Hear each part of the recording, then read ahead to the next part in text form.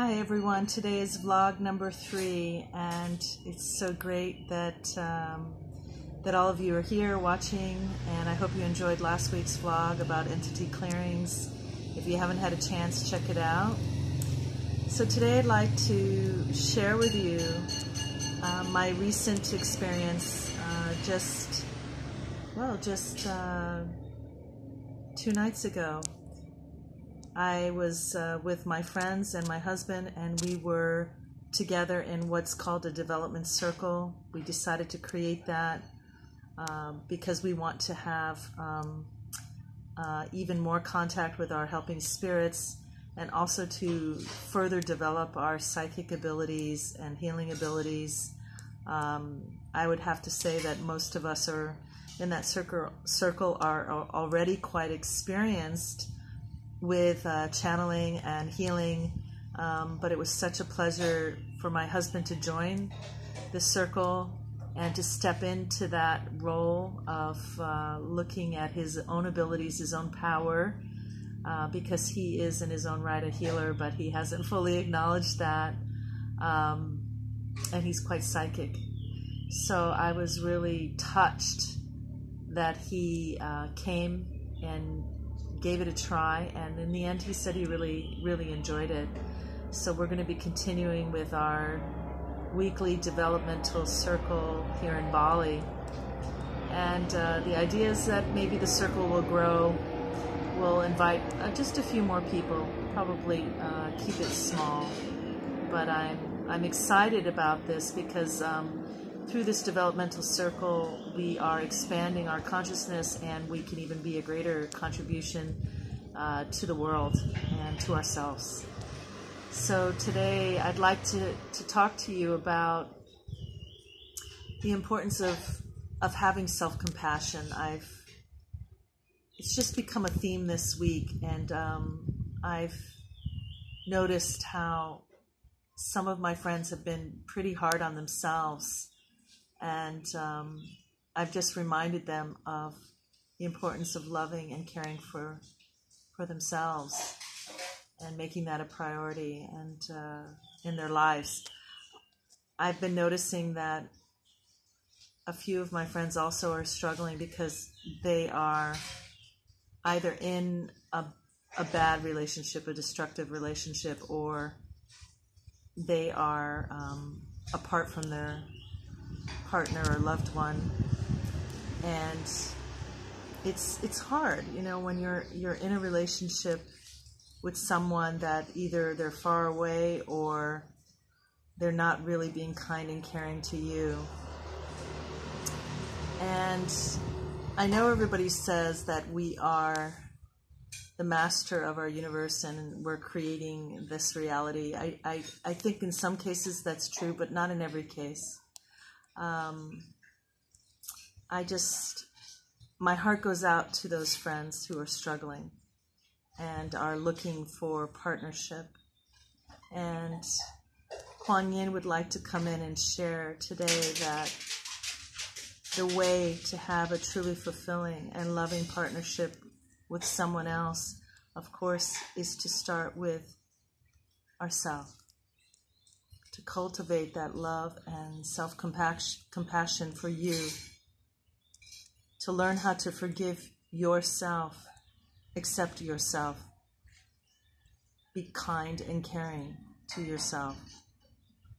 And through these actions, we can easily magnetize a partner who will treat us with respect and kindness be truly caring and loving to us. Just want to take a deep breath into all of that.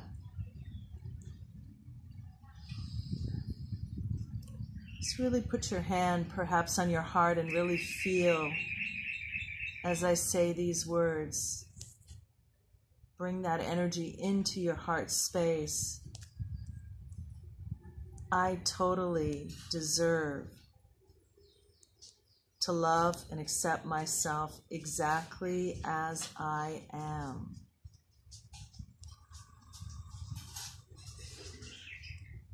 Breathe that in. I am totally good enough exactly as I am.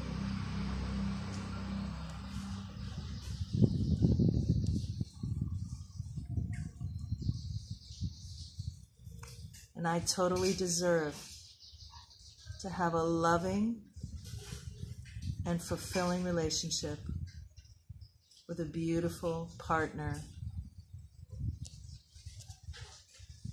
who loves and accepts me exactly as I am.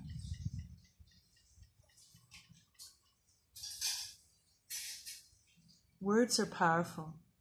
Words are our magic. When we put out our intention, our words of magic into the universe, we make it manifest. It becomes reality. And this is why it's also important to think about your self talk. Are you talking to yourself in a kind way? Or are you be, beating yourself up? And, and being really mean to yourself. When you find yourself moving into that darker place of self criticism and judgment, please stop yourself in that moment. You can even do that by saying, I cancel and delete that, I cancel and delete that, I cancel and delete that. Come back into the space of self love perhaps repeat those affirmations I've just shared with you. I totally deserve to love and accept myself exactly as I am, or I am totally good enough exactly as I am. Let it become a mantra. Find yourself repeating it when you're washing the dishes, in the shower, or just sitting quietly somewhere in nature. If you're in nature, you can actually call in the energies of the trees and the flowers and all of nature around you and ask nature to be a contribution to you creating this new positive program.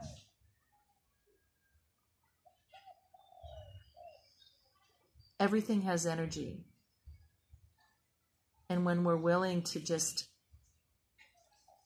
tap into that energy and call it into us, it can be a contribution to our lives and to our beings and to our bodies.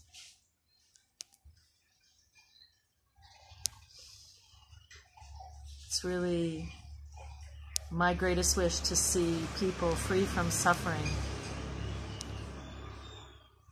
truly love and accept themselves exactly as they are and know that they're good enough. It's taken me many years to get to that place. And I'm not saying I don't have my bad days, we all do. But I find more and more I self correct my thinking. I stop those negative thoughts right in their track